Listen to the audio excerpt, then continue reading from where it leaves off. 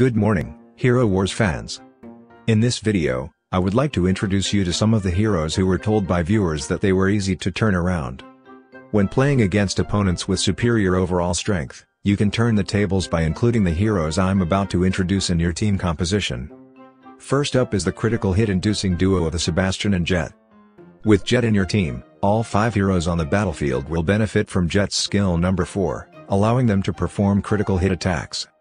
In addition, when Sebastian's skill number 2 is activated, the chance of a critical hit is amplified for 5 seconds, increasing the frequency of critical hits. When you hit a critical hit, the physical attack power of the first activation of the skill is amplified to about double, allowing you to fight on equal terms with opponents who are superior in overall strength. Critical hits do not always occur, and if you miss the chance draw, you will not get a critical hit, so you may lose to a lower ranked team.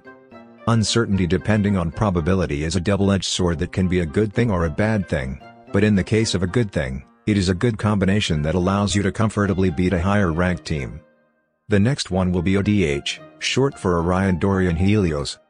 With a certain amount of power, you can beat a higher ranked team if you get into it right, but it's not a stable team composition because you never know who Orion's attack will hit. As a side note, to further strengthen Orion's fast attack ability, there is a way to link Orion with his pet Merlin. When Orion and Merlin are paired, the speed at which Orion's skills are stored will increase by up to 50%, allowing him to launch missile attacks so often that it's laughable. Now, I've lined up four heroes who are easy to turn around. Faceless, Morrigan, Dorian, and Jorgen represent the four heroes that have the highest chance of causing an upset. Each of these four heroes may be weak on their own, but they all have their own special winning patterns that can be very powerful when they get it right. Faceless, you can double back your opponent's magic, or if you're using a set with K'arkh, you can copy K'arkh's skill number 1 and it will look like K'arkh attacked twice. Faceless has the disadvantage that copying the first skill of a physical attack hero is useless, so it lacks stability. Morrigan, if it's a crowded game, you can turn your opponent's hero into a zombie and absorb more and more attacks, so that the enemy attacker, who has a higher attack power per hit, struggles with the zombie and runs out of time. Alternatively, the zombies summoned by Morrigan early in the game can be used to target magical heroes behind the enemy team.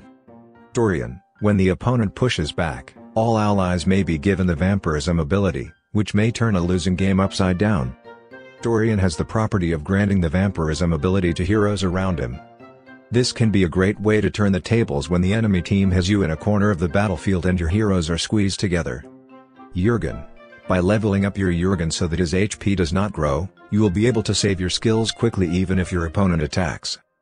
Jorgen is a fast activating hero, so keeping his HP low will allow him to activate his first skill before the enemy team, greatly delaying the enemy team's first skill activation.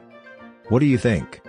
In recent years, more and more people are combining various heroes to fight, and a wider range of knowledge is required than before.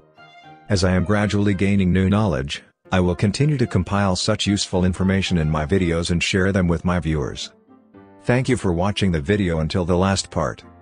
I'll see you in my next video.